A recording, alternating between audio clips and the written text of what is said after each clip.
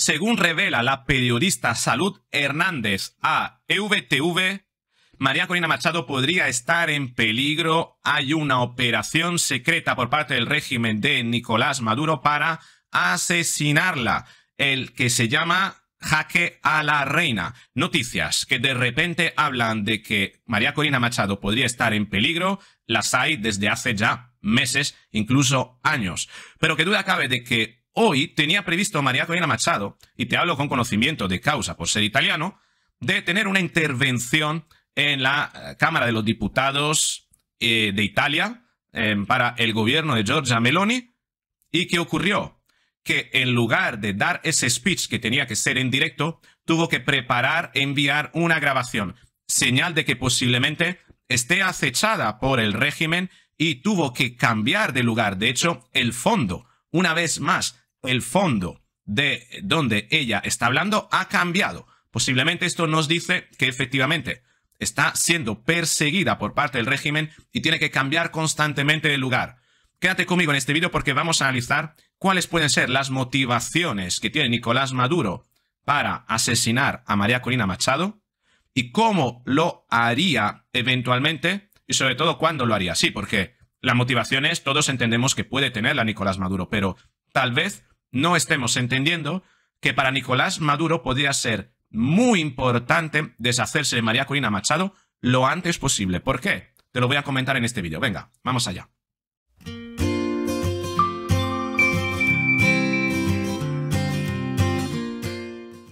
Así es, esto decía Salud Hernández a EVTV, ¿no? EVTV, lo que se diría aquí en España. Vamos a escucharla con Jessica Vallenilla eh, una pregunta en el aire y es estas revelaciones de una supuesta operación jaque a la reina que tendría el régimen de Nicolás Maduro y que se sabe precisamente en Colombia, que se filtra en Colombia, que tiene que ver con la vida de María Corina Machado y las últimas eh, órdenes que se ha dado desde Miraflores contra María Corina Machado. Que real que Nicolás Maduro pretenderá asesinar a María Corina Machado. Puse incluso la fecha de octubre, me atrevía hasta a ir tan lejos. ¿Por qué lo pensaba? Porque dije, bueno, las elecciones las va a ganar la oposición de lejos, de lejos Pasará un tiempo, eh, la espuma baja y cuando estemos en un periodo más tranquilo irá a cargarse a María Corina. Porque ¿cuál es la única, cuál es el único rostro de la oposición que todos los venezolanos, eh, que, reúne a todos los venezolanos? ¿Cuál es la única? Es María Corina. Porque todos los demás tienen críticos, todos los demás no generan esa, esa unidad que genera María, ni esa esperanza, ni esa ilusión, ni esa... Fíjate, no, no hace falta decir más. Es evidente. Eh, fíjate que Saúl Hernández hablaba de octubre habrá ganado las elecciones la, em, la oposición, tal como vaticinaba Salud Hernández, lo que vaticinó Salud Hernández se ha ido cumpliendo. La oposición ganará las elecciones, la ganó. Maduro reprimirá y buscará la fórmula para decir que no habrá sido así e imponerse. Y efectivamente lo que ha ocurrido. Y cuando ya la cosa baje, porque no se puede estar protestando todos los días, a todas horas, ¿no? Y cuando ya la cosa esté más tranquila, Edmundo González eh, ha sido exiliado, eh, ha sido deportado contra su voluntad fuera de España, fuera de Venezuela, a un país que es su prisión. Sigamos diciéndolo. España, contrariamente a lo que dice el gobierno de Pedro Sánchez y el eh, ministro de Asuntos Exteriores, España no ha salvado a Edmundo González. España es la prisión de Edmundo González es diferente. En lugar de estar en el helicoide, está en un lugar donde va a ser mucho más cómodo para el régimen de Nicolás Maduro que se sepa que Edmundo González está tranquilo, está en vida y no está siendo sometido a ninguna tortura. Pero claro, aquí debemos pensar, ¿y María Corina Machado? María Corina Machado se ha quedado, se ha quedado en Venezuela, pero ¿qué dijo Maduro? Que se marchó, que se había ido a España, ¿recuerdas? Cuando él decía, y se marchó, la Sayona se fue, se fue, decía. ¿eh? ¿Por qué decía eso? Maduro sabe muy bien que María Corina no se ha ido. Pero él tiene que crear un relato diciendo que se ha marchado. ¿Por qué? Porque ante la eventualidad de capturarla, podría silenciarla para siempre. Contrariamente al plan para Edmundo González de tenerlo capturado en el helicoide o en España, mejor en España, donde hace menos ruido, curiosamente, para María Corina Machado no está previsto ese destino. Porque una persona como María Corina Machado, capturada, despertaría inmediatamente la condena internacional. Muchos países se alinearían en contra de Maduro y el revuelo que se crearía alrededor de Maduro y de Venezuela generaría, quién sabe, incluso la posibilidad de que algún país con quien esté bien relacionada María Corina Machado, véase Estados Unidos, tomase la iniciativa para intervenir realmente, porque María Corina Machado es una pieza clave. Y creo que detrás de ella hay tanta fuerza y tanto interés que Nicolás Maduro no se puede permitir tenerla capturada, por mucho que le gustaría tenerla capturada y torturarla. Por tanto, la única manera que tiene para deshacerse de ella y para tenerla callada es asesinarla. Y sobre todo hacerlo de una manera silenciosa. Tan silenciosa como para crear el relato que María Corina se fue y que de repente deje de hablar. Entonces él podrá decir, ay, se fue, la cobarde se escondió, ha decidido pasar nueva vida, etcétera, etcétera, etcétera, ¿no?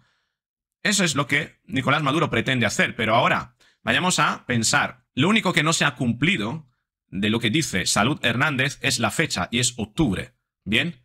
Pero bueno, entramos en noviembre, está diciembre y el 10 de enero está, es el día en el que alguien se tiene que juramentar como presidente ¿eh? legítimo de Venezuela.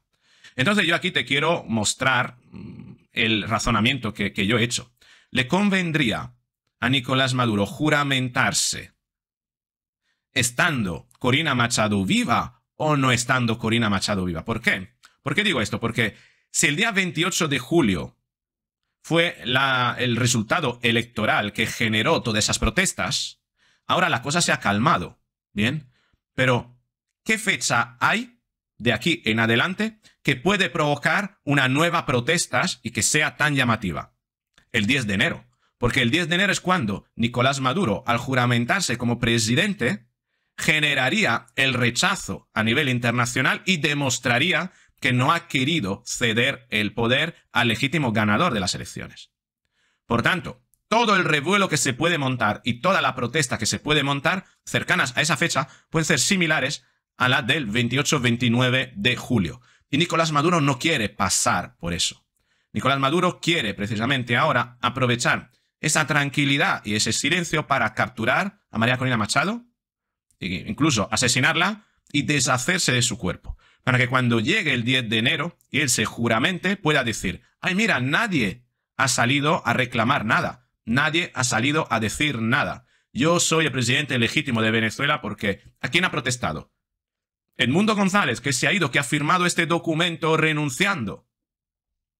Esa es la cuestión. Entonces creo que efectivamente dentro de la motivación de Nicolás Maduro está el interés de capturar a María Corina Machado, pero ni siquiera capturarla, llevarla a ningún sitio. No, tener la orden directamente, dar la orden de en cuanto se vea, pues asesinarla y deshacerse de su cuerpo. Creo que ese va a ser el... Eh, está en, digamos, en su mente el modus operandi y esto hace que María Corina Machado esté en constante peligro, ¿no? Y, la demostración de que realmente eh, está muy acechada y que la represión la está buscando es el hecho que constantemente está cambiando de lugar. Tenía previsto aparecer, comparecer en Italia, en la Cámara de los Diputados. Al final no fue así y tuvo que hacerlo a través de una grabación. Lo vamos a ver. Aquí lo tenemos de Agencia F, que nos lo explica. La líder opositora de Venezuela, María Corina Machado, instó este jueves a la comunidad internacional a presionar para el fin del gobierno de Nicolás Maduro, elevando el coste de permanencia en el poder. Machado, que participó en un foro en el Parlamento italiano, aunque no pudo hacerlo en vivo como estaba previsto, destacó cómo las recientes elecciones en Venezuela revelaron el fuerte deseo de cambio de la ciudadanía. A través de un mensaje grabado, aprovechó para agradecer al pueblo italiano y a su gobierno por el apoyo constante a la causa venezolana. Machado resaltó además el respaldo del gobierno de Giorgia Meloni, en especial dentro del G7.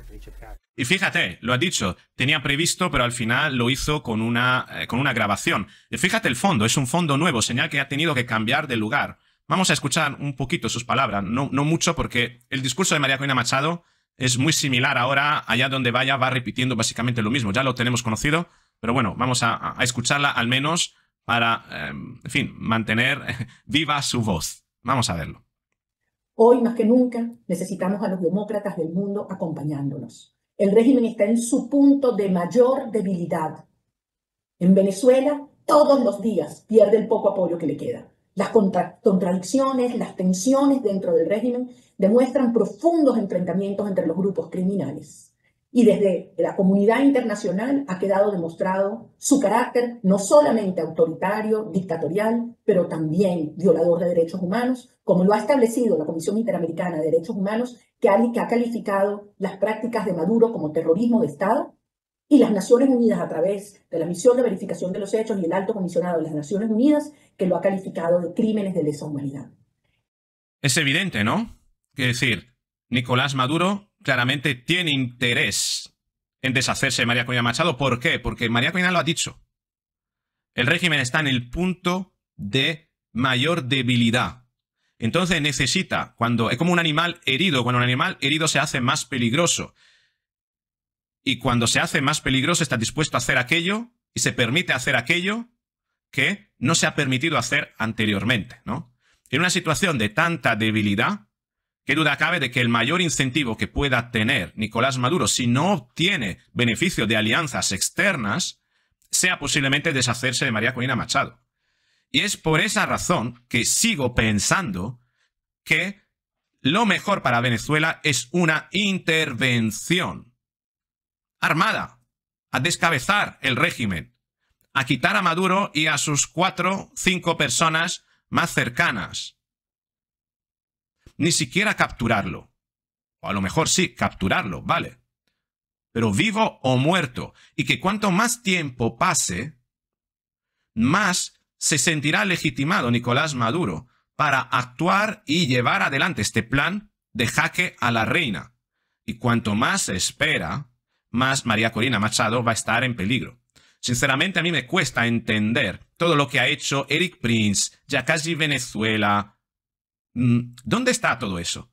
Parecía inminente que iba a suceder algo y todo se ha perdido. Y creo que esto realmente en el fondo ha hecho más daño a los venezolanos que producirle beneficios. ¿Dónde están estos beneficios?